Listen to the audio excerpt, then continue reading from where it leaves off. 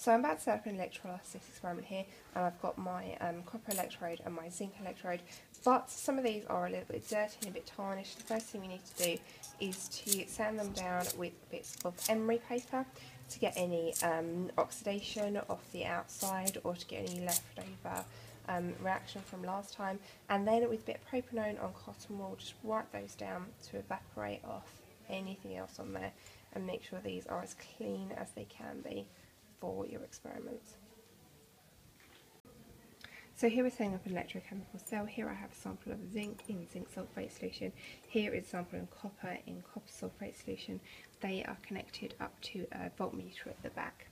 Here I have our salt bridge. This is a plastic U-tube which is filled with sodium chloride and stoppered with um, cotton wool at either end.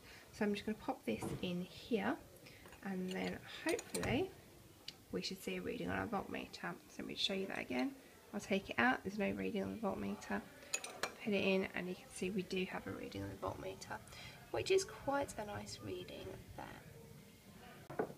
So here's the diagram they're set up here and you can see the voltmeter reading came out at 1 volt. Thank you for watching. I hope you found this helpful. Subscribe so you don't miss any more of my videos. Donate so I can buy stuff to make more videos. Share this with your friends so that they can help improve their grade as well. Any comments, questions, requests or corrections down in the comments below please.